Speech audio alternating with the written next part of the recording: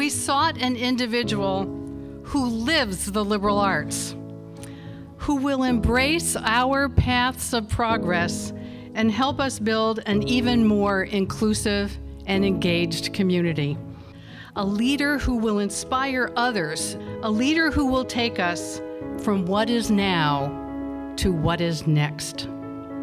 This individual is Dr. Barbara K. Altmann, our 16th president, a highly recognized teacher, scholar, and passionate leader. Thank you so much. What an extraordinary reception. Thank you so much. The chance to join you and to become a diplomat, this is going to be the biggest adventure of my professional life.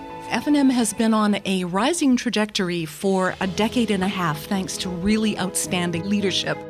I am humbled to join you as president and whose job is really to continue the trajectory and then to push forward into the next chapter it was immediately clear to me that not only are your students absolutely superlative, they are so strong, but your faculty is sterling. I'm thrilled that F&M has our first woman president. I'm, I'm as an, uh, an English professor, I'm thrilled that we have a humanist, that she brought an amazing humanities center to Bucknell.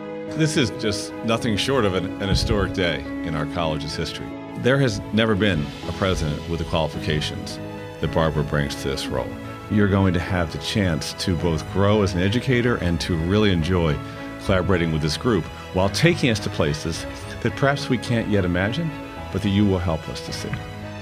I was really excited to meet her, and I really liked her point about the faculty at F&M being a really strength, a really good strength here because the faculty is incredible.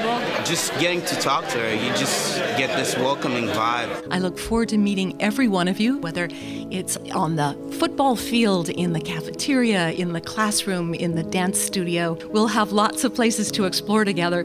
Thank you all for coming. This has been an extraordinary welcome. Thank you. This is the medallion that accompanies the presidency of Franklin and Marshall College. And I've had the honor of wearing this at uh, seven convocations and eight commencements. And now you will have that honor, and I'd like to present that to you.